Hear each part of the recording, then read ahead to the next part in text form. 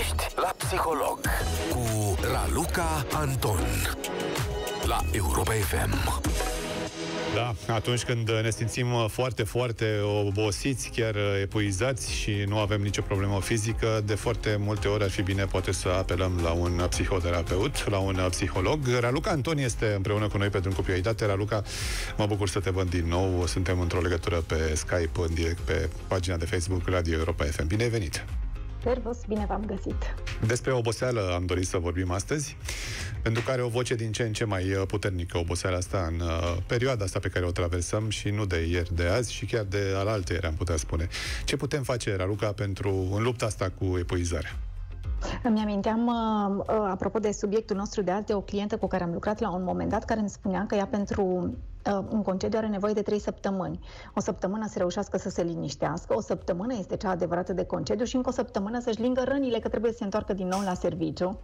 Uh, și mi s-a părut, sigur, am, am râs atunci, dar pe de altă parte ne arată cât de puternică, cât de bine înrădăcinată este această stare de oboseală pe care o simțim marea majoritate dintre noi uh, și pe care de multe ori o ridicăm la nivel de artă, cumva, știi? Ne, ne și lăudăm cu cât suntem de obosiți, cu cât am muncit, cu cât de mult efort am depus în viața noastră profesională și asta vine și pentru că de foarte multe ori munca multă vine cu multă recompensă sau cu multă vizibilitate și atunci sigur că este întreținut acest mecanism. Și nu vorbim de despre o oboseală fizică, vorbim despre o oboseală psihică da. mai ales.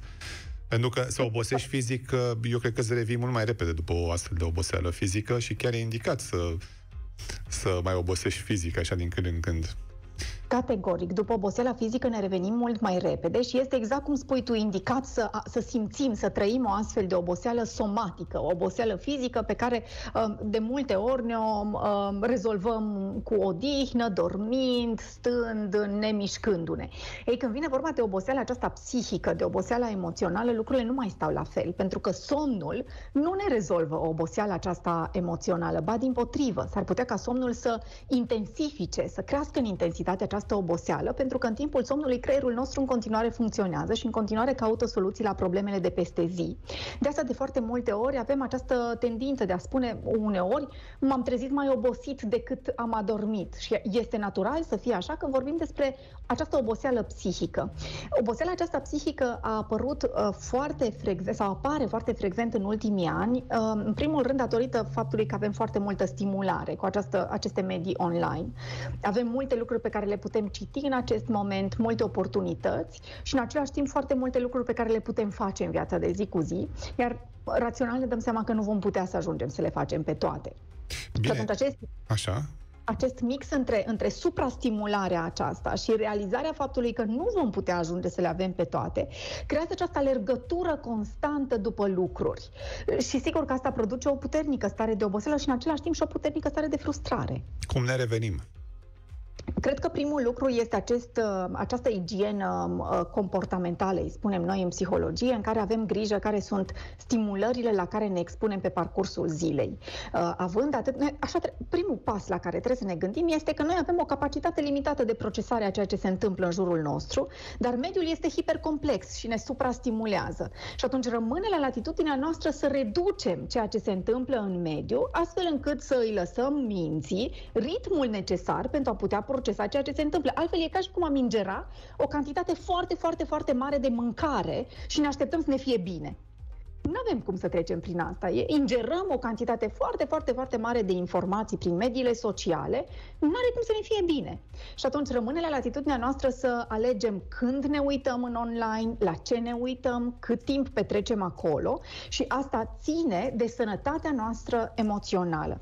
Apoi, când vine vorba de odihna psihică, spuneam mai devreme că somnul nu rezolvă asta. Ce rezolvă, pe de altă parte, odihna psihică este, pe de o parte, um, ieșitul în natură, este studiile ne arată asta, că ieșitul în natură, conectarea cu natura ajută mult la liniște, conectarea cu simțurile proprii, ce uh, miros simt când sunt în natură, cum se simt copacii.